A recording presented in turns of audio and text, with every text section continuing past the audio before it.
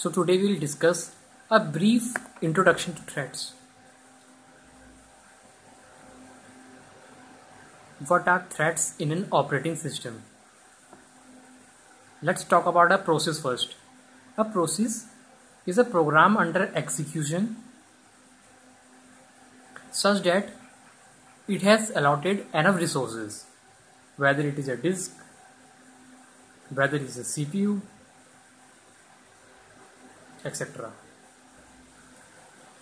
a thread is a light weighted process that is created by a process itself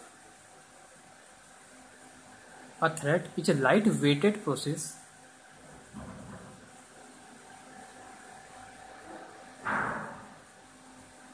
and it is created by some process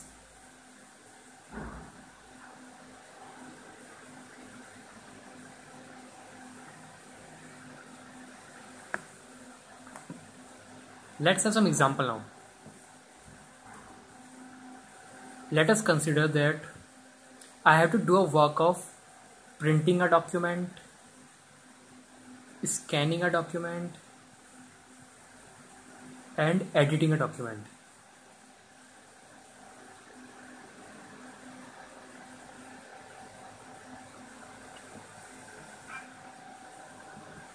So in order to accomplish this task, I have to make three processes. First one is printing, second one is scanning, and third one is editing.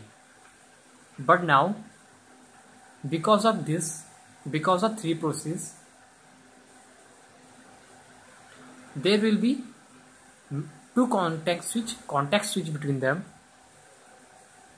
and also in order to accomplish the process P1, I have to put them in the wait state P2 P3 in order to accomplish the task P2 that is of scanning I have to hold printing and editing.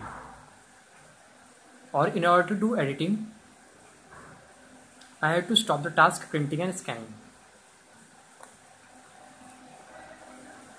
Here's come the role of thread.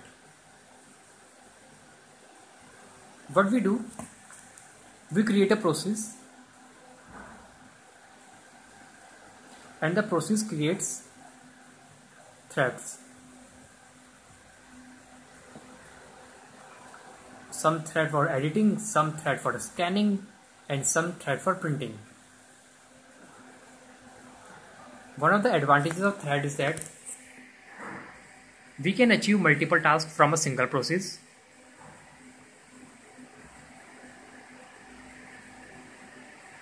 We reduce context switches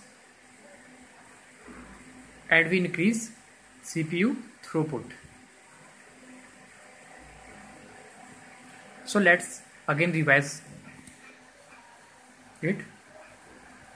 A thread is a light basis process and it is created by some process.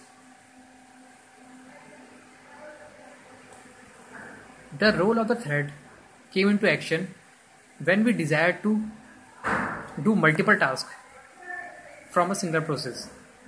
So in order to use the thread, a process creates child processes. These child processes are the thread again. And by the creation of such threads, we can achieve multiple tasks. We can reduce the context switch and we can improve the CPU throughput. So these all were about the threads. Thank you for watching.